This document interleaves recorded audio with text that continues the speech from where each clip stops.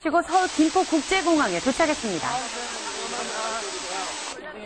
이준기는 드라마 히어로 프로모션 차 윤소희와 함께 지난 27일 일본을 방문했는데요. 다음 날인 28일 군입대 소식이 보도됐습니다.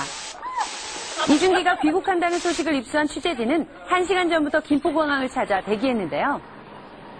이준기는 일본 하네다 공항에서 출발한 대한항공 비행기를 타고 귀국할 것으로 전해졌습니다.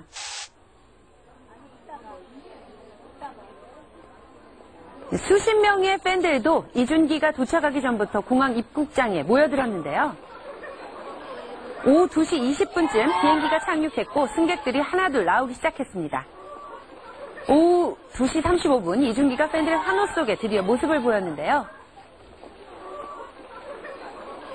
네, 이준기는 검은색 선글라스에 검은색 모자를 써 패션을 검은색으로 깔끔하게 통일했는데요. 팬들이 환영하자 밝은 표정으로 두 손을 흔들었습니다.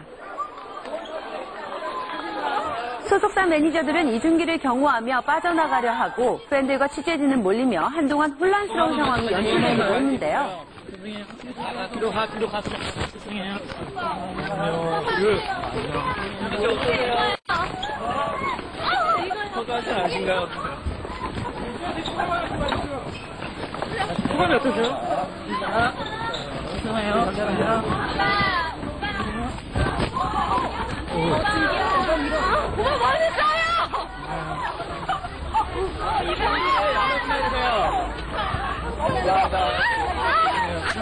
네, 이준기는 군에 입대하는 소감이 어떠냐는 취재진의 질문엔 말을 아꼈는데요.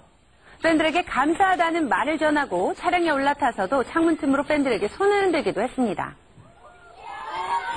이준기는 5월 3일 입대를 하게 되는데요.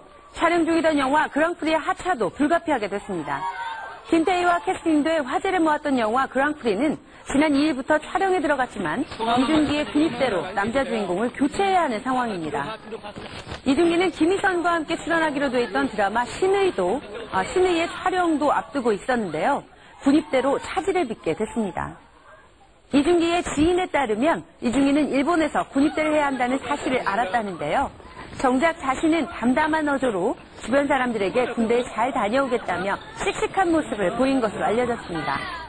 이준기는 5월 3일 충남 논산훈련소에 현역 입대해 국방의 의무를 다하게 됩니다.